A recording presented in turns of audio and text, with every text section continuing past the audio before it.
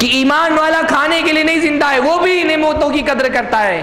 لیکن نعمتوں کی قدر یوں کرتا ہے کہ منیم کے ساتھ وفاداری کرتا ہے۔ دینے والے کے ساتھ وفاداری کرتا ہے۔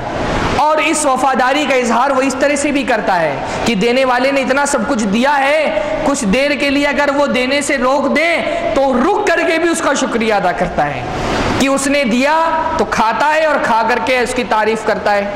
کھانا کھا لیا تو دعا پڑتا ہے۔ الحمدللہ الذی اطعما وسقا وسوغه وجعل له مخرجا۔ ساری تعریف اللہ کے لیے جس نے کھلایا ہے، پلایا ہے، جسم کو اس لائق بنایا کہ وہ غذا سے قوت حاصل کر سکے۔ وجعل له مخرجا اور پھر اس کے نکلنے کا رستہ بنا دیا۔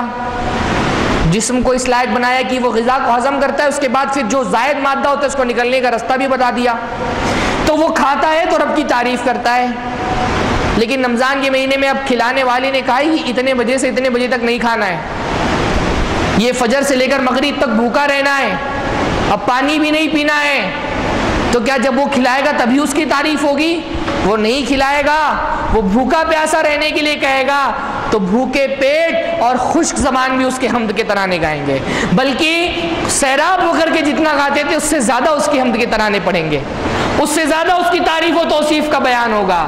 تو یہ روزے دار کی طرف سے اللہ رب العالمین کے لیے اعتراف ہوتا ہے کہ اللہ ہمارے لیے زندگی کا مطلوب اور مقصود تیرا رزق نہیں ہے، رزاق ہے۔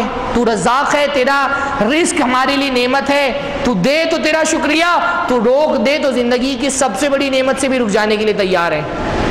یہ روزہ ہے۔